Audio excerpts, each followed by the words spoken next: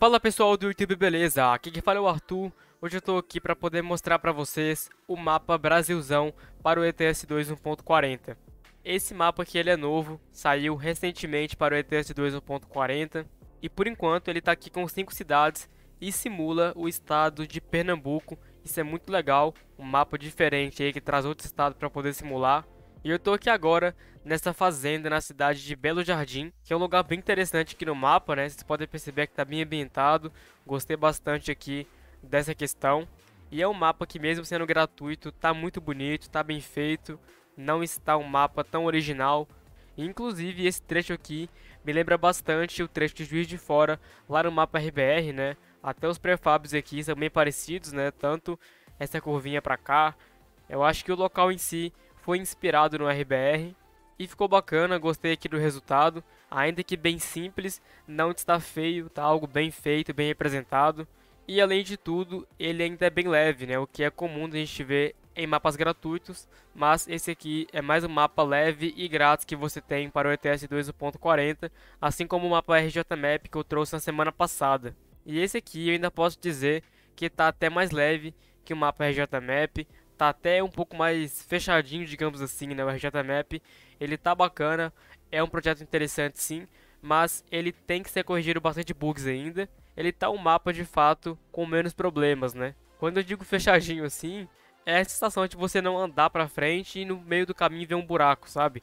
É um mapa que tá bem feito, não tem esse tipo de problema, não tem casas no meio do mato, igual eu vi lá no mapa RJ Map. Mas tá bem bacana. É um mapa que ainda que bem simples, tá bonito, cara. Eu acho que dá sim para você manter uma simplicidade, né, com objetos originais do jogo, mas ainda assim ambientar direitinho e deixar ele minimamente apresentável, né, pro público aí, para todo mundo poder jogar.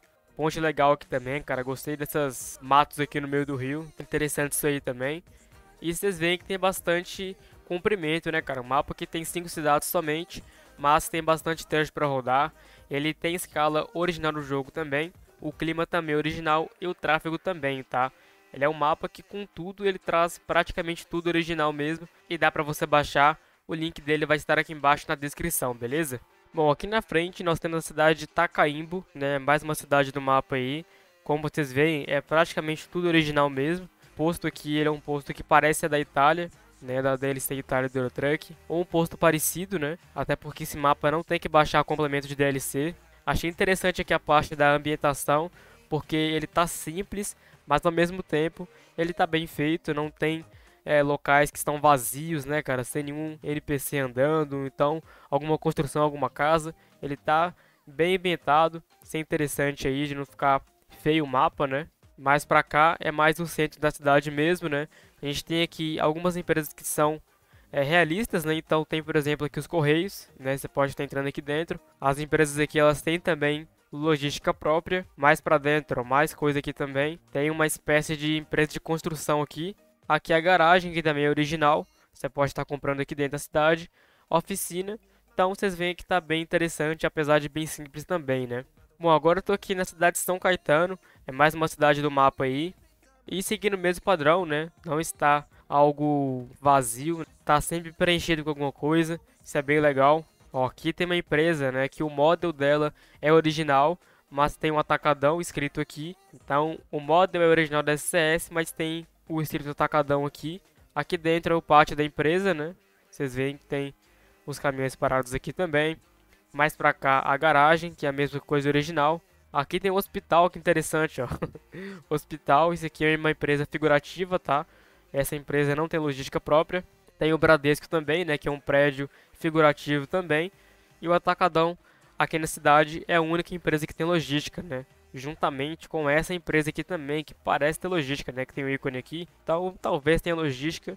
Mas é estranho porque não tá aparecendo, né, cara? Aquele ícone para você poder pegar a carga creio eu que se você usar o comando no console, deva sim é, funcionar a logística aqui dentro, né? E agora eu tô aqui na cidade de Caruaru, que essa eu acredito que seja a maior cidade do mapa, né? Vocês veem que é bem extenso mesmo, né? olhando aqui no mapa, tem bastante coisa. É uma cidade que tem um posto maior, né? Um posto de combustível muito maior. Aqui é interessante, né, cara? Várias faixas, uma entrada aqui também. Ó, tem um shopping aqui. Esse shopping, ele parece ser figurativo, Mas na verdade não, tem logística aqui dentro, né? Tem o ícone da empresa. Então aqui dentro tem logística também. Bem legal isso aqui.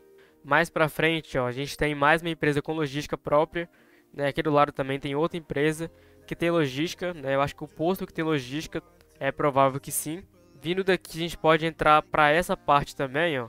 E a gente vai ter outra empresa também com logística. Então vocês veem que é uma cidade que, no geral, é mais completa. É né? uma cidade que tem sim é, mais empresas, uma cidade que tem mais logística. E mesmo vocês vendo né, que tem mais detalhes, uma cidade maior, o FPS não cai, está bem otimizado, né, os elementos também são todos originais, isso aí ajuda no seu desempenho. A gente vê que é um mapa todo construído na base da SCS, mas que pelo menos não está esburacado, né, cara, como eu costumo falar.